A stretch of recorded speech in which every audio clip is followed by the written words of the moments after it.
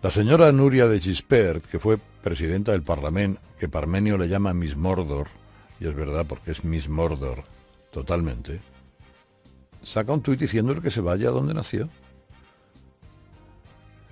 Oye, eh, querida, ¿tienen que irse de Cataluña todos los que no han nacido en Cataluña?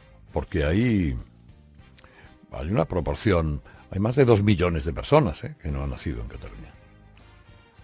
O solamente los que tú consideres que tienen el pase para poder vivir en Cataluña, opinando lo que tú dices que tienen que opinar. El acoso, el insulto permanente es absolutamente insoportable. Menos mal que luego ha venido el Tribunal de Estrasburgo y ha sentado y ha puesto eh, pies en pared. Querían estos sentar en el banquillo de los acusados a España. Y lo que ha dicho Estrasburgo es que todos los que organizaron el, el 1 de octubre tienen que asumir responsabilidades penales por sus actos. Así que no es demasiado un buen día para ellos. Querían estos sentar en el banquillo de los acusados a España.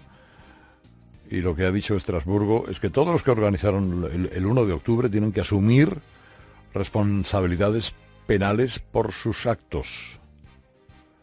Así que no es demasiado un buen día para ellos.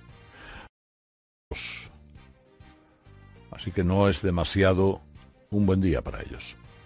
Para ellos.